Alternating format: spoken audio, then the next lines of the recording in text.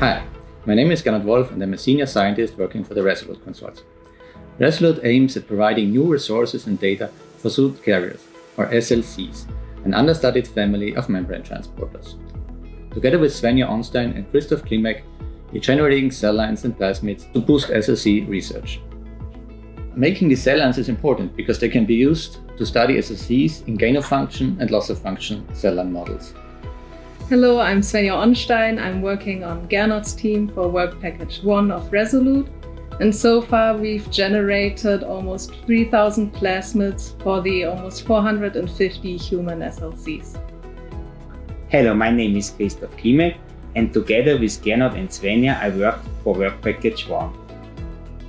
Using the plasmids that Svenja mentioned before, we generated more than 1200 knockout and overexpression cell lines for each SLC. One of the main objectives of Resolute is to provide open access to these reagents to the scientific community. Many of our plasmids um, are available on the Addgene repository, and most of our knockout clones will be available at ATCC. Both repositories will distribute our reagents worldwide for a small distribution fee.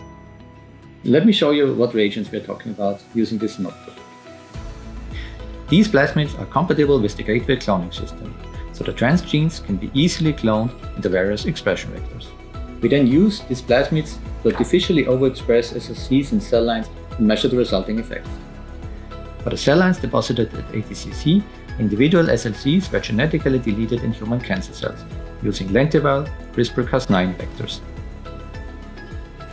With these reagents, Resolute is empowering scientists worldwide to investigate solute carrier transporters.